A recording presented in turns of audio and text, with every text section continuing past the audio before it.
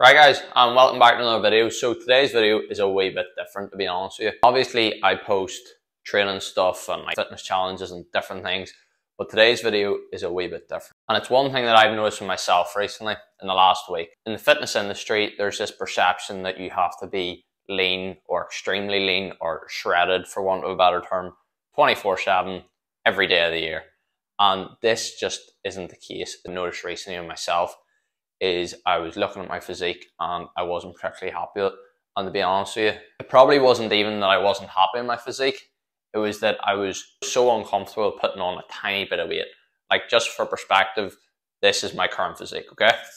So get rid of this microphone.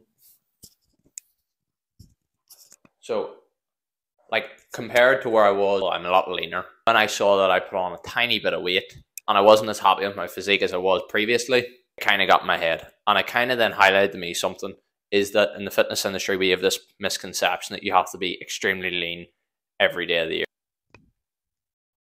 And this really just isn't the case. There's going to be some times where you're going to look extremely lean and look like this. And then there's going to be other times where you're maybe not going to look as lean because realistically, people have lives, different things come up. And also you'll go through different stages of your training cycles, whether that be you're going on a bulk, whether it be you're cutting or just at maintenance. So you're going to look different at different times of the year.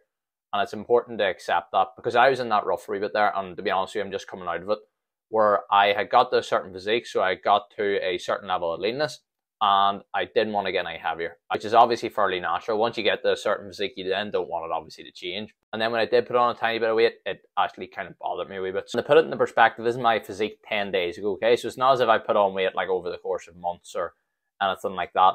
It's literally just to change my physique over a week. I Highlighted to me that your physique will change from week to week, and it's important not to get caught up on, you know, one measurement on one day over the course of a week and take like a long-term approach over the course of weeks or months. Your physique changing over the course of a couple of days or over a week isn't the big deal. Really important to remember that the people you're comparing yourself to aren't extremely lean all year round. They'll go through different phases of their training cycle. And when you see photos of them, they've probably dieted for an uh, extended period of time and they don't look like that all year round. They're only looking like that for a short period of time. So it is really important that you have that in your perspective. Right guys, and that brings us to the end of today's video. I hope you found it useful.